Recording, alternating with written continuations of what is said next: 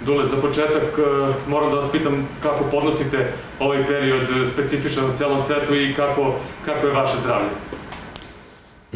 Moje zdravlje, da kažemo, dosta dobro. Znači, već sam ja onako i više nego što je pristojno javno pričao o svojoj bolesti.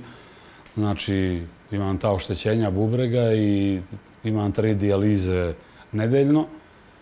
Ali uz te tri dijalize se dobro osjećam i mogu da funkcionišem. I, ovaj, što se tiče ove e,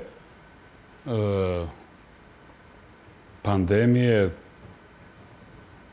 To je stvarno promenilo svima nama ovaj, život puno i ne znamo koliko, u kojoj će meri tek da nam promeni u svemu ovome što, što sledi. Ali bilo, svi smo ono, slušali razna predviđana naučenih, prvo kriznog štaba manje više, ali naučnika čitali ovde, čitali onda, pa ti na kraju to izaziva samo još neku veću depresiju i pokazalo se da niko ništa nije ovaj pogodio. Tako da, Vidjet ćemo te vakcine, ovaj, prvo kad će da se pojave, da će rešavati problem i koliko često moraju da se, da se uzimaju, jer očigledno da ovaj, ne stvara se autoimunni sistem dovoljno jak da posle preležane bolesti ili jedne vakcine dugo vremena čovjek bude bezbedan. To je jasno i sad, tako da... Ali dobro, da dođemo makar do te vakcine, pa onda da se vrati nešto da liči na ono što je, što je bilo ranije, što nas je nerviralo, a sad u stvari vidimo koliko je to bilo e, s neke druge strane, ovaj, upoređujući s ovim sad neko, oblaž... I, i, i neko stvarno zlatno doba. u, u svetu toga, šta očekujete e, od naredne košarkaške sezone? Evo, NBA je napravio jedan specifičan sistem e, u tom, da kažemo, mehuru, kako ga oni zovu, ali Amerikanci imaju tu mogućnost da taj Disney World, koji je praktično veličine trećine Beograda celog, da sve to organizuju. Španci su organizovali manje više pristojno turnir, Nemci su manje više organizovali to na vrhunskom nivou, sve do duše bilo bez publike. E, šta očekujete kako će Euroliga i FIBA, e, s obzirom da se radi u internacionalnim takmičenjima, uraditi da, da, da se igra i, i kako će to izgledati? Da li može to uopšte da, da se izorganizuje po vašem mišljenju? Pa ja mislim da će košarka biti vitalnija od, od ove korone, međutim, ovaj, da će biti potrebne razne modifikacije, početak igranja. Prvo, evo, gledam tamo sa ekipom s kojom ja radim u Rumuniji, napravili smo pre mjesec i po dana ekipu. E, trojica nisu došli zbog problema sa vizom, karantinom i tako dalje. E, a jedan ili dvojica koji su došli imaju, moraju 14 dana da ostanu u karantinu. Tako da je to, mislim, stvarno veliki problem i e, uvod u probleme koji nas čekaju, jer Eh, mislim, NBA koji je jedna od stvarno najvećih organizacija i svetskih, kad je ne samo sport u pitanju, sport je jedan od najvećih svetskih biznisa, našla je neko, neki modus da, eh, makoliko koliko to skupo koštalo, opet košta manje od one zarade koje će dobiti kroz televizijska prava i ovaj, na razne druge načine. E, ali ovdje u Evropi nije takva situacija, prosto i e, ja mislim da ako krene da se igra, će morati, kažem ponovo, i ako krene da se igra, to, da će se zahtevati e, snažna organizacija koja zna u nenormalnim uslovima da se adekvatno ponaša, da pronalazi moduse, znači verovatno i da se prva kola igraju. Prvo, teško će biti organizovati trening utakmice. Znači, mora puno više da se radi pet na pet na, na, na treningu da igrači igraju. E, FIBA se ponaša za sad kao da je sve u redu, kao da ništa ne, da ne postoji pa, e, ovaj, e, korona i ona će o početku takmičenja u svojim e, takmičenjima da raspravlja 15. augusta. 15. august je klubovima već jako kasno da pomeraju pripreme i da se usaglašavaju prema tome. Ali, ali znači, verovatno će i nacionalna takmičenja, a i svi drugi će morati da traže neki, neki modus nekoga turnira negde u početku ovaj, gde je Eh, mala mogućnost zaraze, eh, eh, ovaj, gde posle toga igranja bez publike, pa onda sa tim testiranjem, pa kad dođe do te vakcine, postepenog uključenja na određenoj razdaljini publike. Znači, bit će vrlo složeno, nisu svi svesni toga, ovaj, čini mi se, ali ko bolje se pripremi na tu situaciju, na primjer, ko bolje obezbedi u startu vize igračima i mogućnost da na početku priprema bude ceo tim kompletan, i ko te pripreme, bez obzira na ta otezanja kad će početi Jadranska liga, kad će početi e, Fibino takmičenje Euroliga, iskoristi na najbolji mogući način, ne da ta odlaganja budu e, alibi, neka, neka, neko odlaganje od obaveze da se radi i sve neko to iskoristi na najbolji način, taj će najbolje proći u ovoj sezoni koja će biti čudna. Biće čudno. E, iz trenerskog ugla, koliko je sada trenerima potrebno prilagođavanje na ovu nastalu situaciju pomenuli ste planiranje pripremnog perioda i svih ostalih stvari, koliko će biti e, unutar same sezone potrebno prilagođavanje samih trenera e, kada, kada su igrači u pitanju i, i uopšte neki, neki plan utakmica? Da, morat će oko toga, dobro, e, što se tiče, kad se ima kompletna ekipa i kad nema ograničenje, ja znate, u nekim zemljama još uvijek imate ograničenje da ne može više četiri igrača da budu u zatvorenom prostoru, da se radi bez kontakta i tako dalje. Mislim da i u Rumuniji to ovaj, takav slučaj sad, znači treba raditi eh, prvo adaptacije na te neke zabrane ovaj, u smislu zaštite zdravlja, koje su donesene u smislu zaštite zdravlja svih, ali treba naći samo za ovu situaciju ovaj, znači neko rešenje koje ne postoji u iskustvu, niti u, u, ovaj, u teorijama, niti u knjigama. I ovaj, rekao sam vam, bit će manji broj trening utakmica, puno manji, što je poseban problem za nove ekipe u smislu koje, koje imaju dosta novih igrača.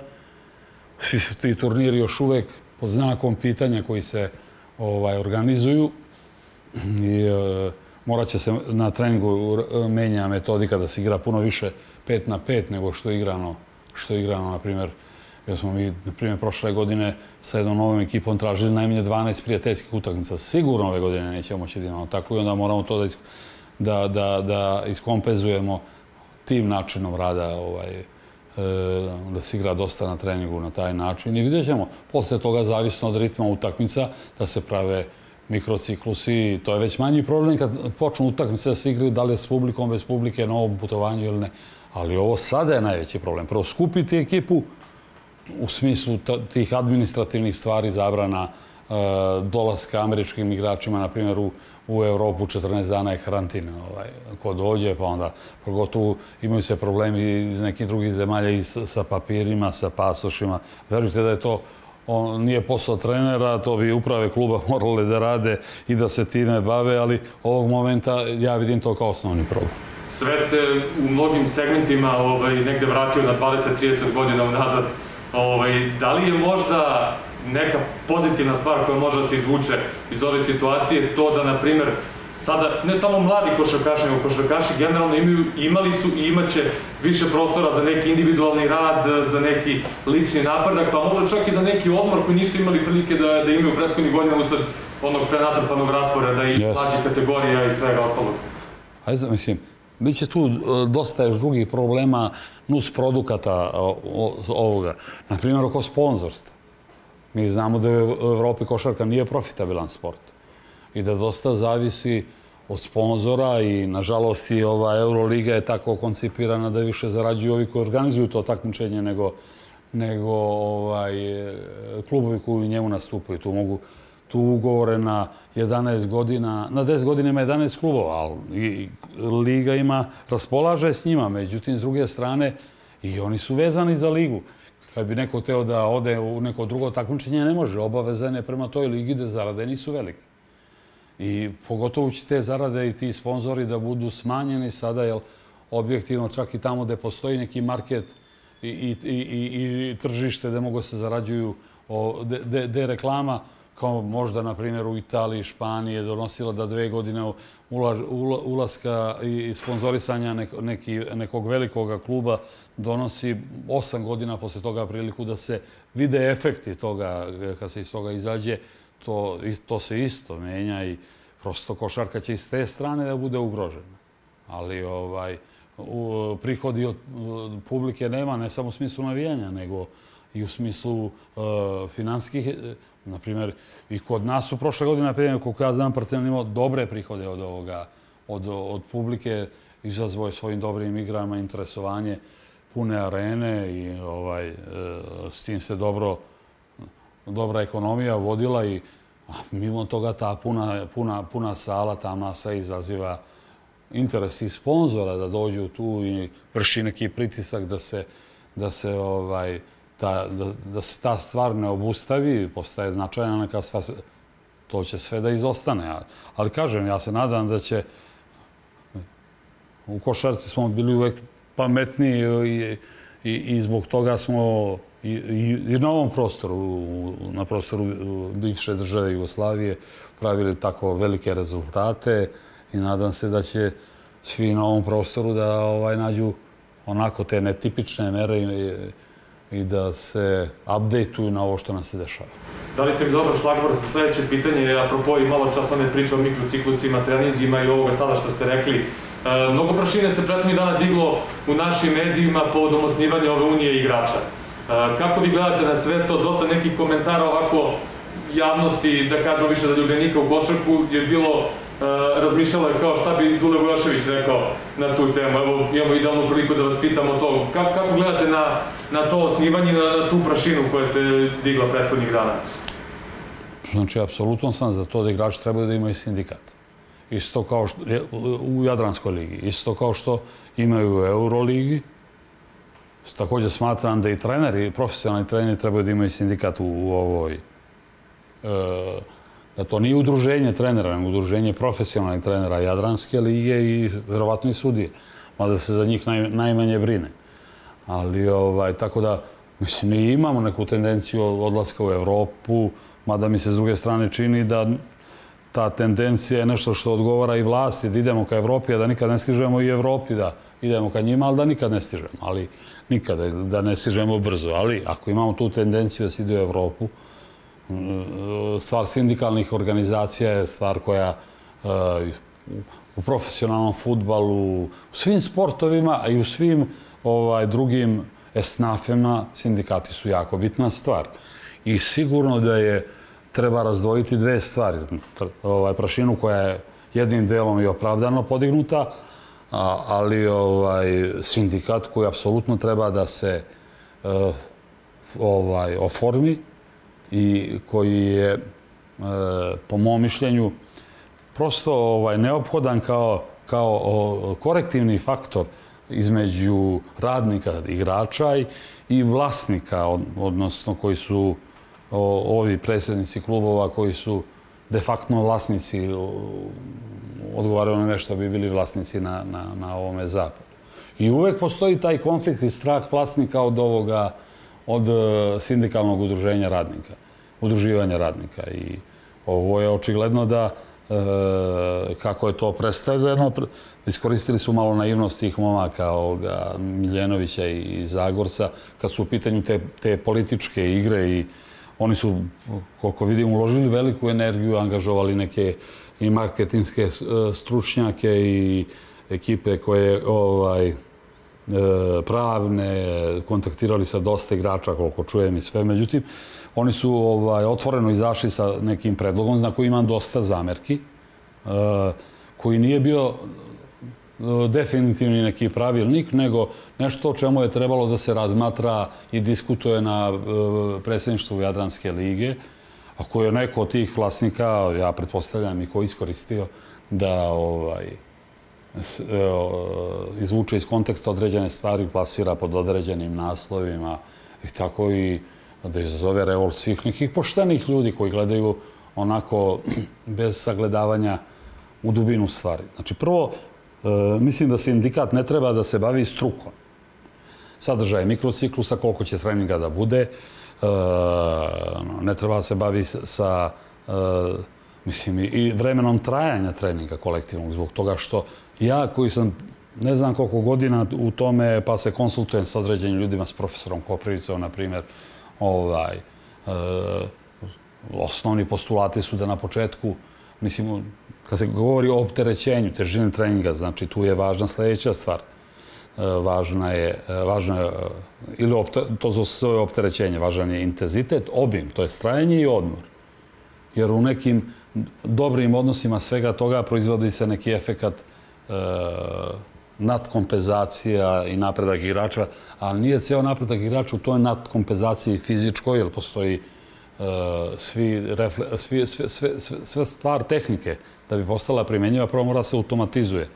Šut, dribling, e, stav, odbrambeni, pa nema velike razlike između individualne tehnike i taktike, znači situacije je jedan na jedan, ali da bi se pokreta automatizovao treba de, deseta hiljada ponavljanja i čim prestane se ponavlja, on prestaje da se, o, ruši se taj, taj stečeni refleks i e, gubi se automatizacija. Tako da ne, ne može se sagledava sad sve ni kroz fazu fizičke pripreme, ali sigurno da na početku priprema su treninzi duži, s manjim intenzitetom i do 3 sata. Jer stvarno ne mogu da budu sad i dugi i, i s velikim intenzitetom, jer onda to iz, E, dovodi do pretreniranosti, dovodi do e, nekih mogućnosti da dođe i do povreda i svega toga, ali time se bavi stručni štab. Pa da niko trenera nije budala ili od uprave da, ne, da postavljaju neku budalu koji ne zna to da odmeri, koja, koji izaziva ovaj, takav neki obim treninga da je ovaj koji možda izazove povrede. Pa kako se polako bliži kraju prvenstvo, ne naglo, ali to se smanjuje, poveća, smanjuje se ob, o, obim, trajanje, pove, zadržava se intenzitet, povećavaju se te pauze, smanjuje se i broj treninga i tu dolazi do stvaranja forme. Kažem, ja posle e, 40 godina bavljenja ovim poslom se konsultujem s nekim ljudima i, i ovi momci, Rade Zagorac i ovaj Miljenović, su malo, e, uh, razumijem ja da se teži tu prema ovome, kako se zove, e, višem stepenu takmičenja, da se prenosi nešto iz pravilnika španskoga, uh, ovoga, uh, francuskoga sindikata igrača, eh, Eurolige, koja je prenosila dosta iz NBA. Međutim, to, to su neuporedive stvari. Mora se ima osjećaj za trenutak i mora se osjećaj da se ima osjećaj za mesto. Ovaj prostor je prosto imao ovaj, tu karakteristiku da smo mi jako puno radili, i da je najbolja socijalna zaštita igrača da oni postanu igrača. To ne mogu bez velike količine rada. I, ovaj, I nema puta do uspeha koji je lak, koji ide preko, preko ruža, ide preko trnja. I tu neki put se namjerno izazivaju. Nema u sportu pobedništva bez brutalnosti. U rimskom e, sportu, govorim starog Rima, u ekipi koja je gubila odrubljivala se glava jednoga. Znači, oni su znali sljedeći koji ostaju da igraju nešto ili da se bore, da ne izgube, ne znam se ko će da, ovaj, posle toga da bude mrtav. Prema tome, e, ne treba površno gledati, ne treba ulaziti u te stvari. Znači, igrači treba da se bave ne radom, nego okolnostima u kojim se radi.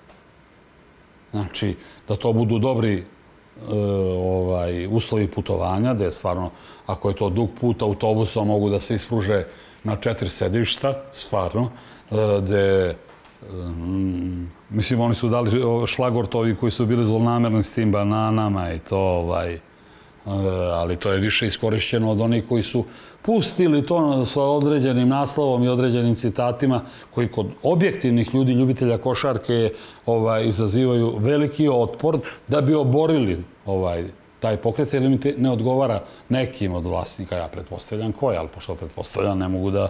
Čak sam 99% siguran ko igra te igre. Ovaj, da se obori ta, ta ideja e, stvaranja sindikata, pa igračima zabranjuju, pa neće da dovode igrače u klub, kaže, koji su članovi sindikata ili će u klubskom pravilniku da stave da ne mogu biti članovi sindikata, što je zakonom zabranjeno i to sve. A ovi momci koji, koji su krenuli tu treba da okupe jaču ekipu po imenima, da, da ne budu oni njima iscrtana meta na leđima. Mislim, ja da je, da je Zagorac moj igrač, popričao bi prvo s njim fino i ovaj, ne bi nikakve konse, e, konse, e, ovaj, konsekvence povlačio zbog te svoje akcije, čak bi cenio što neku njegovu socijalnu inteligenciju i, i ovaj bavljenje time, pa više cenim to nego kad neko ne, ne zna četiri reči da sastavi ovaj da sklopi, ali bi on mi se ne prosto ovaj, ne bi dozvolio da neke stvari tu prođu i ako bi prošle, ne bi poštovao te stvari. Jer normalno, sad se ispada da smo mi radili samo u šest ujutru i trčali po stepenicama igrače. Mislim, prvo u šest ujutru sam i ja dolazio da vraćam lopte. koji sam bio puno veće ime tad i već bolestan za razliku od tih nekih momaka. Ali ovaj, i neki put kad treba i neki kazneni trening, ako se neko nije borio maksimalno, ako je poraz došao, kao, pogotovo u nekoj važnoj utakmici, kao posljedica ne, ne dobrog pristupa, to bi apsolutno stavio tu kaznene trening i sve. Ali to što gledao bi da savjetujem kakav sindikat treba da izgleda, znači da se on bavi uslovima oko kojih se radi, da ne bude protiv rada, jer zajednički nam interes svima da se radi puno i više od ostalih i oni koji rade više od ostalih napravi, e, napravit će ovaj, bolji rezultat i bolju karijeru, napravit će oni kojima je stalo do novca, svima nam je u, u nekoj meri do toga stalo, napravit će više para, prema tome interesi su zajednički trenera, i igrače. To ne treba ovaj, praviti, praviti ovaj, sukobljavanje. Sigurno treba voditi računa o, o ovaj, dodatno i o strane sindikata o, o zdravstvenoj zaštiti igrača. Jer ogroman broj utakmica, 80 sigurno, nije predviđen ni u jednoj knjizi koja te govori o, o periodiza, periodizaciji treninga, znači o, tom, o tim različitim ciklusima, pripremnom, takmičarskom, posttakmičarskom, koga više praktično i nema dok se nije korona ovaj, pojavila i sve. I onda e, o mikrociklusima oni moraju stvarno da se, po meni, nije za ovaj prostor rešenja da to bude jedan trening. E, kao pravilo uvek, pogotovo kad su u pitanju ti mladi igrači. Tako da kaže, mislim da sindikat treba da se bavi time da ulazi već i u to da osim znači tih uslova za rad i putovanja, pri tome ako je Jadranska liga, pošto ona plaća već sobe, jednokrevetne sobe nisu problem. Mi jesmo radili dvokrevetne sobe da stvaramo i hemiju tima pa je neko ko je pozitivan stajao u sobi s nekim koji ima neke probleme i tako dalje, pa se je menjalo tokom godine da svi sa svime se upoznali i stvarao tim. Ali sad već i u ovim uslovima stvarno, mislim, razne su tu navike, daleko od toga da treba obustaviti kontrolu, ali nije to neki nepotreban komfor, ovaj, pošto već Jadranska liga to hoće da plati, ne znam zbog čega se klubovi ovaj, i, i to izbacuje kao neka teza. Sad banane ne bi trebali da traže, ovaj, to ovim normalnim zemljama ima, ali niti smo mi normalna zemlja, niti se ta normalnost dokazuje time da ima banana. Imaju svi toliko para da i treba da vode računa da imaju da naprave i oni neke uslove ovaj, i u slačionici i tokom puta i tako dalje, a e, trebali bi da se bave e, zaštitom isplate igrača. Kolika je minimalna stipendija u Jadranskoj ligi, e, da osim bata, se tu postavljaju neki mehanizmi kako se makar ubrzava bati ili postoji neka koordinacija sa još nekim ovaj, faktorima da se obezbedi ta finansijska korektnost, što ovdje nije baš... E, to su poslali sindikati i u tom smislu sindikat treba ovaj, da postoji. Ja podržavam to. Normalno da sam jako protiv ovih stvari da se oni petlje oko mikrociklusa i mislim da su to i shvatili ovaj, da se oko toga opterećenja, mada oni nikome nisu mislili da zabrane da radi od tih mladih igrača, ali ne treba ni u ovoj formi da, da ulaze u to. I to što je to tako, kad je u pitanju Euroliga, što je to tako u Francuskoj, kad je u pitanju sindikat igrača, to što je tako u Španiji, ipak su i Španija i Francuska učili od nas ovdje. Ovdje je bila domovina košarke. I e, ne treba mi u svemu da se za njima povlačimo nego, i ugledamo nego određene stvari koje su ovdje bila je avangarde i dobre, moraju se zadrže. Tu apsolutno sindikat mora bude jako oprezan i da, ovaj, prvo da bude pametan, da, da ne postavlja ni jedan zahtev koji će biti odbijen. Ko što su sad dali šlagort ovima, i stvarno taj šlagort je negdje i opravdan, ali način plasiranja toga je e, van konteksta sa tim naslovom, pa prenošenje i tako dalje, je zlonamerno. To je očigledno zlonamerno i radi se o, e, ne o borbi za rad, nego o borbi protiv sindikata. I to od ljudi koji su vešti u tome. Vi ste radili u brojnim dekadama, da tako kažem, kao trener na, na najvišem mogućem nivou u evropskoj košarci. Kako vi gledate sad te promene, to pričamo o, o o nečemu što je, da kažemo, neka tendencija u sportu, u toj nauci oko sporta, dobar san, e, odmor nakon velikih napora, čak i ovi igrači e, po, po recima, ajde, dobro, naravno, Amerika je daleko ispred svih, ali ovi na, najveće zvezde čak utroše veliki broj e, miliona dolara na, na, na san, na oporavak i svega to, na, na sve to. E, koliko se sve tu promenilo u tom nekom segmentu i koliko su se, da kažemo, klubovi u Evropi ili kod nas, kako god prilagodili tim svim nekim e, promjenama. Kada već pričamo o tim, recimo, stvarima putovanja i tako dalje, jasno je da ovdje situacija finansijska nije takva kakva je na zapadu, ali koliko su, na primjer, e, klubovi pokazali u tom segmentu neki napredak i koliko bi, recimo, ako profunkcioniše ta, taj sindikat, koliko bi to unapredilo i klubove u narednom nekom periodu? Prvo, ja ne razumem kako Lebron potroši 2 miliona dolara na svoje telo. Sin mi kaže koji prati to o, o toj cifri spavanja. Inače ga cenim ovako, znam da sportski živi, da je posvećen, da želi da se da isto ovim Pavlovićem, Sašom koji igrao s njim, ovim igračima, od njega znam da je, da je i njih upućivo da, da, da, da budu posvećeni, da, da, da, da o, prosto, da, ja volim ljude koji su potpuno posvećeni onome što rade. Ne samo u sportu, nego bilo gde. A što se tiče, klubovi sigurno ovdje nisu na, na nivou koji, koji treba da bude kada je u pitanju ta medicinska zaštita. Jer to više ne može da radi jedan doktor, nego to mora stvarno i jedan maser, nego mora bude štab tih ljudi. Ja sam bio, gde, ovaj, kad sam sa CSKA bio u Americi, iz kog kluba je e, Lebron otišao, koji ga je klub prodao pa napravio onu salu, prodao Majamiju? Cleveland. Cleveland. Oni, imaju povezane tamo uh, ovaj, magnetne rezonance sa onim koji čita to tamo 12 ili ne znam koliko kilometara u bolnici. Tako da ako se desi neka povreda ili nešto, on tu odmah ima svu terapiju i prvo diagnostiku. Jer se uradi tu, čita se na 20 km, to, to ovdje stvarno nije moguće ovaj, odraditi. Da ne pričamo o masažama, o, o jelu, nutricijasnim savjetima, spremanjem toga jela tu, ovaj, i e, prosto organizacijom jednog načina života da to bude stvarno onako totalno u funkciji ovaj, zdravlja i sporta. Ali, mislim, mogu naši klubovi, na primjer, mogu da daju vakcinu za grip. Eto, na primjer, prošle godine jedan veliki klub zaboravio da svojih igrače vakciniše za, za grip. Pa su se posle neki razboljevali.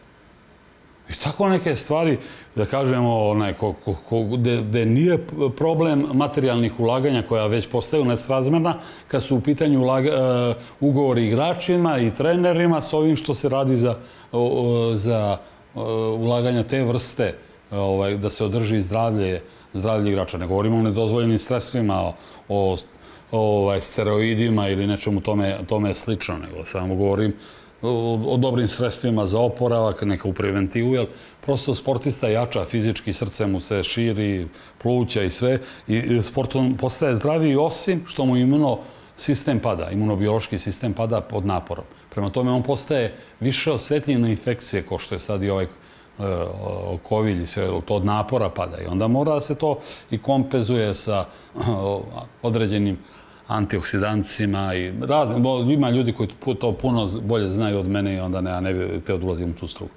Ali ono što je problem evropske košarke, sasvim druge vrste, što je 2000. godine e, e, uh, FIBA, osnovna organizacija, izgubila kontrolu nad svojim takmičenjem, najboljim Euroligom, To je jedina e, organizacija vrhovna, futbal, svih drugih sportova koji izgubila kontrolu nad svojim glavnim takmičenjem. Za to su krivi gospodin Boras Stanković pokojni i Vasilo Kopulos. Jer se nekoliko godina pregovaralo, jer su klubovi nezadovoljni zaradom od igranja toga takmičenja i čak e, zaradom onoga koji osvoji trofej, počeli da razmišljaju da prave svoje takmičenje. I napravili su jednu komisiju da je bio, na primjer, i aj sad da ne pominjem previše imena, ovaj, e, koja je pregovarala sa FIBom. Bora Stanković je govorio e, da ovaj, ma, kaki nema šanse klubovi da organizuju, svako ima svoje interese, kako će to da se dogovore oko suđenja, oko ovoga, oko onoga, i pocenio je tu neku njeku inicijativu. Zadnji neki sastanak je bio u Monaku e, 2000. Godine, gde su klubovi predložili da tu zajedničku ligu vode trojica članova komisije iz klubova, trojica članova komisije, odnosno iz FIBE i Bora Stanković. Znači, glas uvek više za FIBu. FIBA ih je za 400.000, ne znam čega, da su sad bili euri ili, ili ovaj, ne, dolara ili ovo, za 400.000 je dala to takmičenje i ta napravila Harikiri. Jer je takmičenje otišlo opet u ruke ljudi koji ne razmišljaju o celokupnost i dobiti, dob, e, i dobiti evropske košarke koja je zatvoren sistem da iz manjih klubova iz pionira idu u juniore, iz juniora idu e, iz kadeta u juniore, iz juniora u prvi tim ili iz juniora u neki drugi klub pa dolaze do, do ovih većih klubova pa onda se ide... E, ovdje ne postoji univerziteti koji, kao u, u Americi pa da u tom razvijenom sistemu univerzitetskih e, sporta se proizvode igrači. Ovdje je prekinut način proizvodnje igrača. Pri tome je FIBA 2000. godine još napravila jednu stvar. Promenila je registracioni pravilnik da igrač koji je napunio 18 godina, pokrivajući se da e, mora svi da ulaze kao u, ovaj, u zakone koje važe za obične građane, pa i sportisti. I znači, onaj koji je napunio 18 godina ne mora više da napravi prvi ugovor sa klubom gde je napunio 12 godina koji ga je proizveo, koji mora bude na dve godine. Klubovi su uspevali da to izdejstvuje bude četiri pa ga na, u najmanju ruku tri godine koriste i pre e, zadnje godine isteka ugovora proizvode. I onda su oni imali veliku motivaciju da proizvode igrače. Ovako više nemaju motivaciju proizvodi igrača. Jer ne samo onaj koji je napunio 18 godina da može da ide, nego i klinac do 16 godina, kome roditelj promene mjesto boravka zbog posla, ide sa familijom. Naravno da se to odmah zlupotrebilo, pa talentovani klinac će njegova familija se e, prebaci i profe, e, fiktivno da, da se zaposli na neki drugi način da bi se stvorili uslovi da se registruje taj klinac za ne, e, i totalno urađeno registracioni pravilnik protiv ovih zemalja koji proizvode igrače u funkciji bogatih zemalja. I sad, u, u tom daljem ratu FIBE i ove, ovaj, ja bih, na primjer, volio da FIBA provarati kontrolu na takmičenjem ovim za koje je sama kriva, odnosno ova dvojica, Bora Stanković i Vasilo Kopulos, što je izgubljen. Jer sad ovi prozori koji se prave, pa na koje Euroliga ne pušta igrača niti NBA ne pušta igrača. To ko daje priliku nekim manjim zemljama da naprave rezultat, ali mislim. Pa da, onda da zabranimo da igraju svi kvalitetni igrači, pa će manje zemlje da imaju još veću neku priliku. Onda način glasanja u FIBI isto, da neka mala zemlja, Island ima isti, isti glas kao Španija ili kao ovo to isto je, ne, možda je demokratski, ali ovaj, ali nije u nekoj funkciji i evropska košarka je u velikom problemu u velikom problemu i koji, koji je multiplikovan sa ovom, sa ovom koronom. Sindikat naravno to neće moći da reši, niti, multipli, niti on multiplikuje probleme. Oni su, neka su se i opekli ovo sad, neka su dobili, iako je prljava igra, bila i nedobro namerna, ovaj, kako je to pre, predstavljeno javnosti, jer predloge, koliko ja znam, išao na, na Jadransku ligu, na taj, na taj njekov ovaj, sastanak klubova sa direktorijom i sve, da se o njemu diskutuje da se neke stvari izbace, da, da se neke druge stvari koje su dobre, ovaj, znači svi treba tu da se uključe, a ne da čekaju da rade dvojica, trojica ljudi i da onda posle oni imaju ovaj, metu na leđima da su, šta ja znam, ljudi koji su protiv rada i protiv, protiv ovaj, e, žrtvovanja da bi se napravio neki, neki, da bi se e, postigao neki cilj. A naravno, kažem, i oni mora da se nauče ovaj, da, da je ovaj svet komplikovan ne samo zbog korona.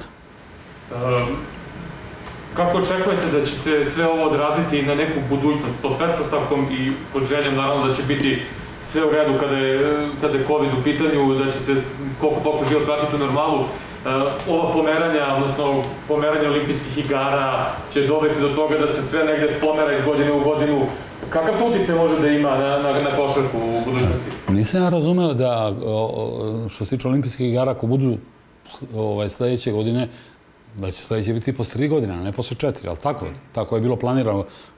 Mada ne tvrdim, ali skoro sam siguran, logično je tako sad, ovo pomera neka takmičenja, kad su u pitanju, ali to se pomerilo već pre toga, već uh, uspeh u prvo mjesto na Evropskom prvenstvu nije uh, značilo kvalifikaciju na olimpijske igre u košarci nego su se pravili ponovo neki turniri, ne znam čiji su interesi da se plaćaju ovaj, neka velika sredstva za organizaciju tih takmičenja. Ne govorimo onima koji plaćaju, nego koji uzimaju te pare. I uzimaju dnevnice i tako dalje. Ne znam da je interes košarke da se igra 3 na 3 kao olimpijska disciplina i da se ulazi u Međunarodni olimpijski komitet, e, komitet kao neko ko je to progurao. Treba bre košarka u Evropi mnogo ljudi da se izbore i i i, i saveza i iz klubova i sve da se da se ovaj ovaj razvod ovakav sa ovim sukobima podudaranjem termina, namernim podudaranjem termina, da ovaj, je nešto ogromnim brojem utakmica, izlaganjem povredama tih igrača, nemanjem ovoga perioda odmora, pogotovo posle 80 odigranih utakmica, neko ko ima ovaj, e, e, pa igra za reprezentaciju, pa sa vrlo malo odmora dođe tamo, evo kako je Dragan Milosavljević, koji je savestan, je bio drugi put povredio, prvi put je kod mene, ajde da budem ja kriv, pošto su lajali. Ovaj, a kako je drugi put povredio? Zato što je savestan, zato što je odmah krenuo ovaj, kako treba, kako je traženo. Prosto, znači, oni koji su najsavesniji, uh, eh, ja se svi ponašamo, onaj koji vodi reprezentaciju kao da je samo to, ovaj koji vodi klub kao da je samo to, onaj koji vodi Euroligu kao da je samo to, FIBA, samo... Mislim, su, i, i, i ko u tome strada igrači? Igrači i treneri najviše. Mislim, ti treba da se prilagođavaš nekim nenormalnim uslovima u koje te postavljaju, ne govorim sad o koroni, u koju te postavljaju različite organizacije gde ljudi imaju veoma visoke plate koji su radili u FIBI ili u Euroligi, više i od e, najvećeg broja trenera i igrača i da ne kažem da su i sudije postale e, značajnije ovaj, od onih koji proizvode igro, to su igrači i treneri. Tako da su da je sindikat najmanji problem, a ovo je to, kad ste, ga pita, kad ste pitali, već kažem ono što zameram, neka su se i opekli, jer su trčali oko nekih stvari, slepo su preneli to iz ovih uh, Euroliga, a ona je tamo slepo prenela iz sindikata eh, uh, NBA, daleko smo mi od NBA. Mi sve i drugo mi radimo na drugi način, moramo tu svoju neke, neke kvaliteti i autentičnost da se prepoznaji. Još jednom kaže, Znači, oni treba budu, da se bave uslovima oko rada i isplate posle toga rada i svega toga, ne radom, nisu stručni. I drugo, pogotovo mada kao nisu imali tendenciju da taj rad smanjuju za one koji hoće da rade i mlade igrače, ali to, to nije njihov posao. To prosto nije njihov. Ovo druge, druge stvari osim banana se slažem. I za kraj da vas pitam, da se su želeli gledanja košarke i da li pratite možda NBA sad s obzirom da je to praktično jedina košarka koja se igra? Nemam ja veliku kulturu poznavanja uh, američke košarke. Uh, ponešto gledam, na primjer. Na primjer, uvijek, naravno, navijam uvijek za Grega Popovića. Jer ga volim i lično se znamo i pokazuje pažnju nekoliko puta i mislim, to je onako lična stvar. Ono je, ovaj, znači je za ekipu koju on vodi. E, naravno je i za Divca koji je, koji je mm, bio i moj igrač i ovoga, Bogdanovića Bijelicu za koga isto znam da je dobar momak i ovaj, sve za Sakramento naravno ovaj, gledam tu oko neko taktički, mada, mada ta razlika u ilegalno, ilegalnoj odbrani od 3 sekunde u reketu ovaj, mnogo pojednostavljuje taktički igru odnosu na evropsku. Ali opet neke stvari treba da se prate i da se ovaj vide. Ono što mi se ne sviđa. Kako se zvao? Erik Alderman, tako što je bio. Znači, on je zadnji koji je, koji je ovaj, igrao na centri u NBA. I ovo sad mi kažu, i smo pričali ovaj, s njima da nekima s kojima imamo kontakt i trenerima i generalnim menadžerima koji dođu neki put da se informišu za neke igrače zbog svog posla i tako. Ali kaže da im se ništa ne sira dole centrima, dole pod košem i da zbog toga nema više te igre. Sam ja predložio da nekog od centara bivših ubace da bude sudija, da ga proguraju prosto, da ima taj osjećaj da im se svi... Ali ovaj, mm, to što se ne igra na centar, što se jako puno igra pick and roll, to nije neki stil koji ja volim i volim naravno da pogledam, to je nešto što mora da se respektuje NBA, ali ovaj, druge strane pokušavam stvarno i da otkrijem tajnu kako neki igrači ovaj, kao Jokić, ja naprimjer, nisam očekio da će on tako dobro da igra, kao Dončić. Želeo sam i dobro, na primjer. A kako Musa, koga sam smatrao sličnim kvalitetom, potencijalom kao Dončić, ne može da dođe do minuta u ovome e, uh, Brooklynu. I to, ima i oni neke svoje tamo ovaj, specifične stvari i onaj kojim se od evropskih igrača nametne da dobije neki prostor i ko fizički može da igra, može stvarno tamo dugo da igra. Kako komentažite ove neke tendencije koje su se dobrim delom iz NBA preneli u evropsku košarku, tipa pomeranje pozicija ili igra bez pozicija. E, mi smo imali prilike da vidimo kada ste vi bili trener Partizana, da ste vi imali onda jedne sezone da ste pomerali Delazme išao na pet i tako dalje, dakle da su se pomerali neke pozicije, e, neke stvari koje su jedno vreme negde bile zaboravljene, sad su počele čak da se koriste u NBA-u, tipa one box and one odbrane i tako Ja, ja, neke ja. stvari. E, zonske neke odbrane, vi ste isto bili poznati po nekim zonama 1-3-1, pa ste divca stavljali onu prednju liniju. E, neke stvari tog tipa su se vratile, pa čak i na NBA nivo i negde se gledaju sad kao neka avangarda, a zapravo u evropskoj košarci, konkretno u našoj košarci ovde, su bile neka normala, da tako kažem. Da vam kažem, na primjer, konkretno ta utakmica, ovaj, čak ni moje kolege nisu razumele, ali e, ja sad, posle 40 godina, e, protiv Makabija, ta polufinale u Ganu, oni su igrali s četiri spoljna e, igrača, da je Barlo bio spoljni igrač i da je Megi bio taj centar, znači kratki, kratki centar od 2 i 2. I mi koji smo igrali s dve petice, Pecarski i, Divac, s dve petice, smo imali veliki problem a postavimo odbranu čovjek na čovjek. A nismo imali razdrađenu zonsku odbranu. Razumete? Jer znači morate na jednu četvorku da stavite ili divce ili Pecarskog, a pogotovo Pecarski nema šanse da čuvate u četvorku.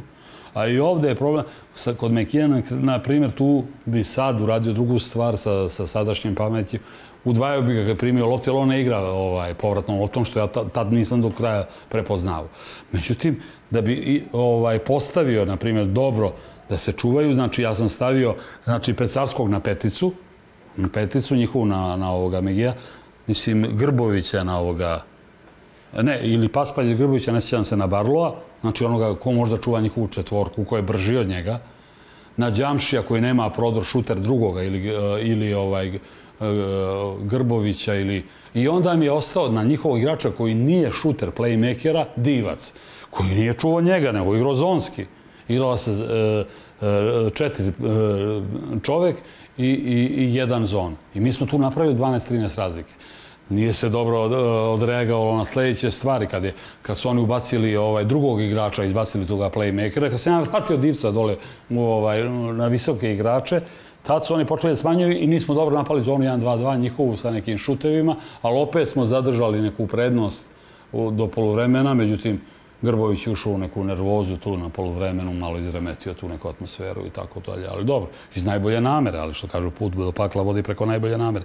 I ja vidim da treneri u to vreme nisu, nisu prepoznali to, velika većina. Ideja je bila odlična. Ideja je bila odlična. Ovaj, taj, ona je dala rezultate. Ono, početno vojstvo i sve posle što se dešavalo, ali ovaj, naravno ja volim kombinovane odbrane, volim i tu 1-3-1, zato što to nije pasivna zona, nego ona, ona čeka ovaj, E, ne čeka grešku, nego izaziva grešku, menja ritam utakmice, tako, ali ovaj, Evropska košarka je na neki način u taktičkom smislu složenija. E, u Americi, u NBA-u, e, individualna snaga igrača, ilegalna odbrana, svode igru dosta 1 na 1 i 2 na 2, malo se igra na leđa. Ta otvaranja, prvo je bilo e, small ball, ova postava, da ti praktično igraš četiri spoljna, ne sa četvorkom, nego sa dve trojke i jednom peticom i dva, dva beka.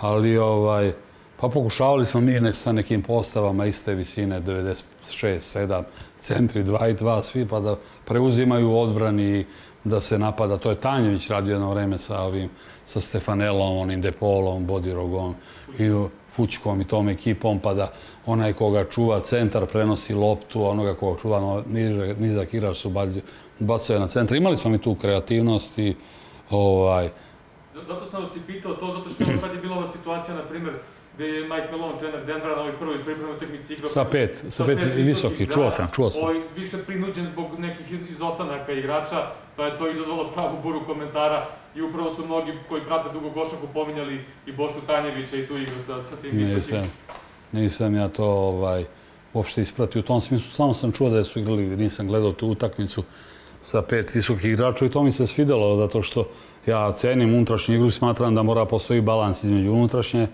igre za šut igre jedan na jedan pika, da to bude sve, da se igra sadrži od svih tih delova, ne samo od jedne stvari. I volim kad igra počinje iznutra prema spolja. A ovaj, e, to, da, mislim, drugčije ste stvari tamo, na primjer, ja, ja bi kad, kad je tri razlike, ovaj, e, 10 sekundi do kraja, sigurno ne bi pustio trojku.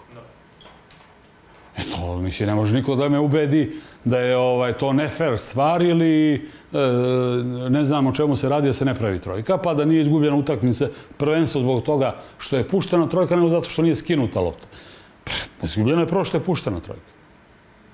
To, je, mislim, to ja mislim. I to, tako da, mislim, oni, ovaj, ja respektujem neke stvari, dosta sam i učio ja koliko je moglo iz te košarke da se, ovaj, da se dođe u to vreme do informacija. Nije bilo YouTube-a, nije bilo literature, nije bilo e, interneta. I teško je bilo doći do, do informacija. Morali smo da razmišljamo i malo mi je žao što je internet doveo kompenzaciju za razmišljanje, doveo do, do kompenzacije za razmišljanje kod ovih eh, koji su informisani, ali nije poenta samo u tome da budeš informisan, govori kod ovih novih ovih generacija trenera. Tako da ovaj, e, imamo mi neku svoju kreaciju i, i metodiku rada i, ne, i treba to zadržati. Ja je govorio da to ne može se nazove Jugoslovenskom školom košalke, ja mislim da je mogla se zove. Da, i ta, e, to što je bila različita, onako kako Ranko Žerovica, kako je Aca igrao koji je bio najveći od njih, pa onda Piva Ivković koji je bio veliki trener, pa uh, Mirko Novosel, uh, ta različitost je upravo pravilna različitost bila deo, deo te škole i a svaka ta različitost možda što je Mirko dosta preslikavao neke stvari, Novosel koji isto veliki trener bio, match-up zonu je prvi krenuo da igra u Evropi i tako dalje, neki jedan trening dnevno, neke ovaj, dobre te uslove okolo NBA uslove za dobro raspoloženje igrača. Svi su oni imali svoju različitost, i, ali i prepoznatljivost, autentičnost, po čemu niko drugi na svetu nije imao to što je neko od njih imao i zbog toga su bili veliki i mislim da su oni pravili ono što, što je po mom mišljenju bila i u slovenska škola košarke. Mnogi vole čak i onako malo i u šali, a možda i u zbilji, da, da naprave tu komparaciju, pa kažu Jugoslovenska škola košarke, Američka škola košarke, da čak jugoslovenski basket ovaj na ulici se igra po drugačijim pravilima od onog u Americi, da, da se ne igra strogo, ne kopira kao nekim drugim europskim zemljama koji kopiraju ta neka pravila igranja basketa obično. A znate šta, ako sam bio u Italiji, pa na primjer tamo ono kada oni prvaci kad završe, organizovane prelazak ulice, one iz škole, učiteljice ide s njima, policaje zaustavi, oni pređu. Ti kod nas od prvog razreda, ako ne gledaš levo, desno, poginućeš. I onda to se stvara neku kreaciju, neku, to, taj sist, e, e nedostatak sistema proizvodi, proizvodi neki, ne, e, to da ljudi budu kreativni, da, da imaju ovaj spremnost na rizik, da budu... Tako da i, i ta, odatle već to kreće. I, ta, ta e, nesređenost u saobraćaju kao pešak i kao sve koje govori o stanju društva, izaziva kod ljudi da, da budu spremni, inteligentni, svaki moment živi. Inače, ovde, ono kad je bio eh, rat tamo, pa da uđeš u, u, ovaj, u autobus onaj tamo sa zelenog venca, mora se boriš, a ne da uđeš u košarkaški tim ili u, u neku priliku da napraviš život koji, da se baviš onim što voliš i neki viši standardi.